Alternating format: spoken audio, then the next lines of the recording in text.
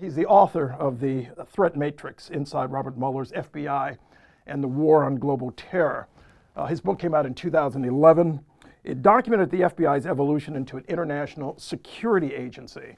Uh, he's in Cambridge today visiting the Harvard's uh, Shorenstein Center to discuss Robert Mueller's investigation. A lot of questions about it, obviously.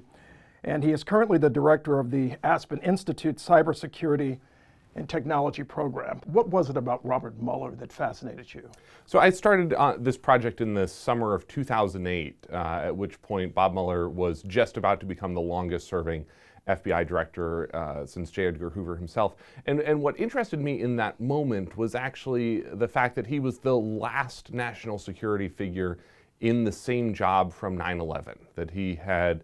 Uh, he, he started uh, as FBI director on September 4th, 2001, and actually was seated on the morning of September 11th, that Tuesday morning, uh, getting his first briefing on Al Qaeda and the bombing of the USS Cole, which had happened the year before. And uh, his day was interrupted by the news that the World Trade Center had been struck. And that sort of reshaped his entire, the entire rest of his term and, and the country obviously in many ways. Do you know if Robert Mueller ever came across the name Carter Page? It's possible. It, it, was one of the most high profile FBI counterintelligence investigations, uh, really since the end of the Cold War, uh, where you had uh, the FBI go after a trio of uh, Russian intelligence officers uh, from the SVR, sort of the Russian equivalent of the CIA, uh, including Viktor Podobny. Igor Sporyashev and Yevgeny Buryakov, who actually was arrested himself in January 2015 and became the first Russian intelligence officer to serve time in federal prison uh, in at least 50 years. I mean, this was an unprecedented case as it was unfolding.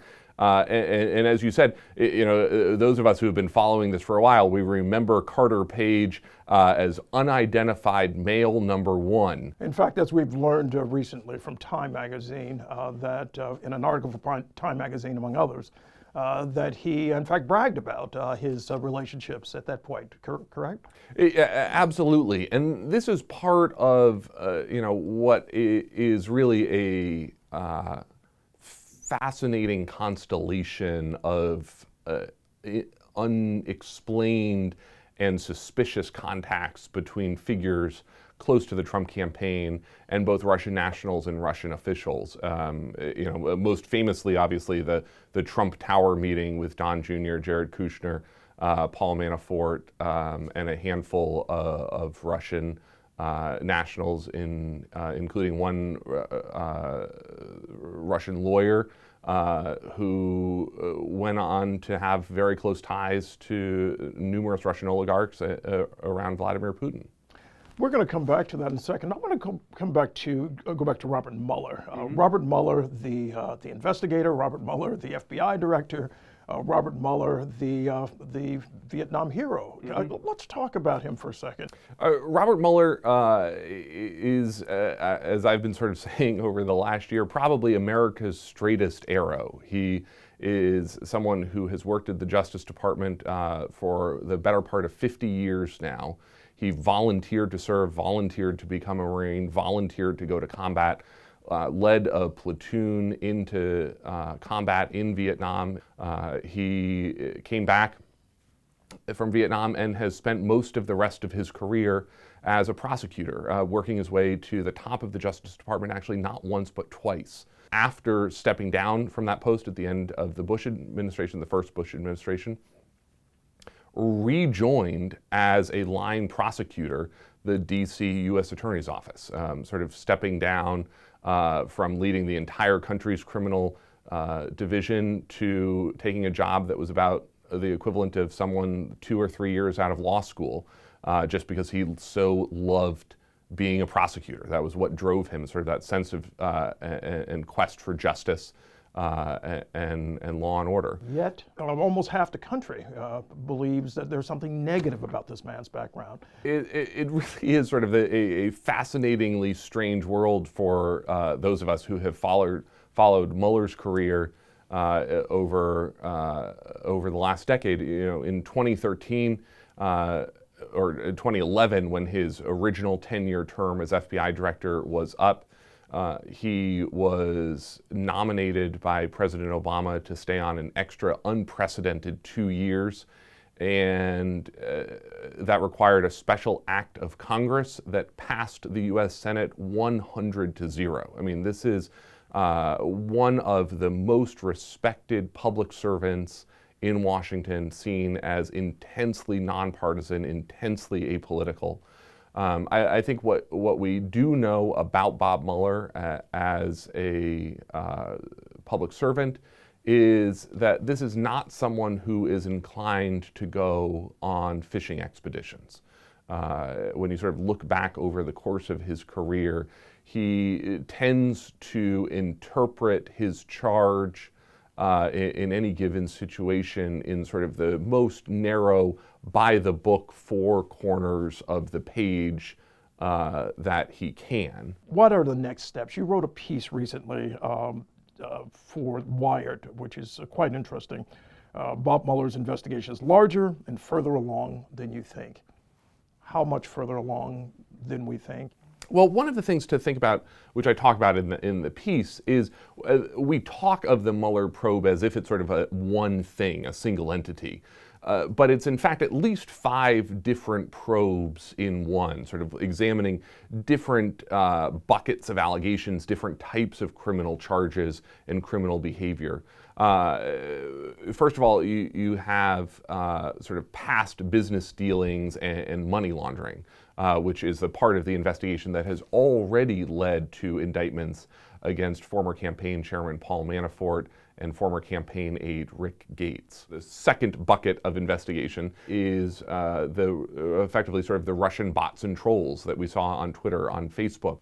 The third bucket of the investigation, also related to the hacking of the election, if you will, is the active cyber intrusions, which uh, were specific operations carried out by the Russian FSB and the GRU.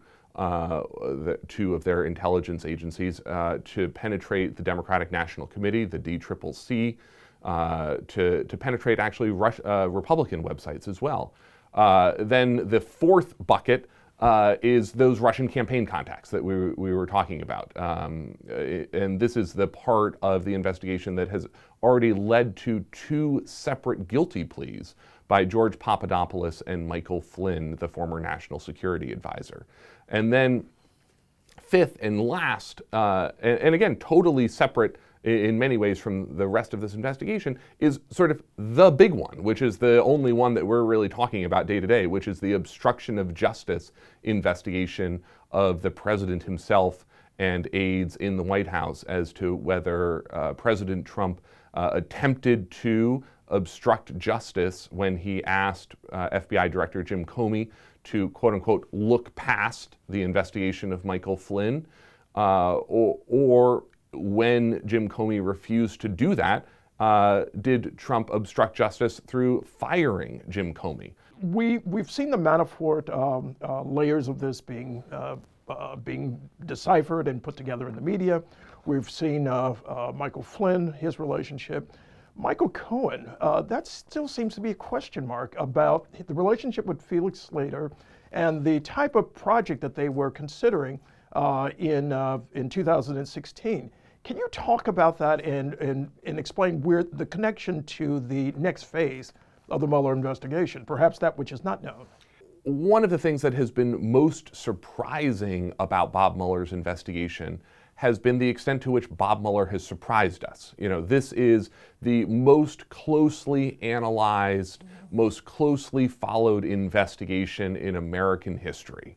And yet, at every turn, Bob Mueller has known more than we think he does. And, and, in fact, uh, you know, we saw in his first public move uh, last year this surprise arrest uh, uh, of George Papadopoulos. That not only had George Papadopoulos been arrested several months earlier, but he had cooperated and he had pleaded guilty. Uh, no, with no one in uh, in the media having any sense that he was even in play in the investigation. So now, when you look at the investigation, I think one of the most important things to understand is knowing what we know that Bob Mueller hasn't told us yet. And that there are at least two very major pieces of evidence in this investigation that we know about that haven't been made public, which is the information that George Papadopoulos traded for his plea deal and his cooperation with prosecutors, and the evidence that Michael Flynn uh, received for his cooperation and his plea deal. Uh, neither one of which has been made public by Mueller's investigation, but both of which we know were significant enough that Bob Mueller provided uh, George Papadopoulos and Michael Flynn with very lenient plea deals. And, and I think it's really important to understand, uh, you know, that you know, we don't know where that investigation is going to go at this point and it, where those pieces of evidence might lead. But we know that Bob Mueller knows them, and we know that Bob Mueller uh, thinks that they are central to his investigation. So I think that that's the area that's most interesting to watch is when are we going to find out what George Papadopoulos and Michael Flynn traded? That significance and the timeline you're discussing, it should be fascinating to every American. For one, uh, this is proceeding along a parallel track as the uh, as uh, Representative Nunes, uh, quote unquote, investigation uh, into the FBI, uh, starting with his now infamous memo that excoriated the FBI. So the question becomes, who wins out first? Who, which information transcends uh, uh, in the in the public sphere? It, uh, it depends a little bit. Uh, you know, we just have no sense of what the timeline is, except that we do know that Bob Mueller is seeking to interview President Trump, and, and that that would lead one to believe, under sort of normal federal jurisprudence, that Bob Mueller is pretty close to the end of at least that part of the investigation. Which explains the race which explains perhaps the race that we are we're seeing sort of play out right now, which is uh, uh, that Bob Mueller feel you know you you only get one bite at the apple if you're interviewing the president of the United States, and so if Bob Mueller is ready to ask for that, that means that Bob Mueller is confident that he knows everything that he needs to know. So that could be a sign that this investigation could move very quickly uh, from this point forward. But at the same time, uh, it's important to, to recognize that even if this investigation doesn't do anything more than the four cases that it has already brought Paul Manafort, Rick Gates, Michael Flynn, and George Papadopoulos you're looking at an ongoing investigation that would probably last a year, a, a year or two. And it's notable that uh, this week, uh, you saw President Trump's uh, uh, budget proposal for next year come out, and he's expecting in fiscal year 2019, which doesn't begin until October 1st, mm-hmm. that Bob Mueller is going to be around and spending $10 million to run another year of the investigation. Garrett, thank you very much. Uh, Garrett Graff, folks, uh, extraordinary, extraordinary informa- information. Thanks so much for having me. Much appreciated.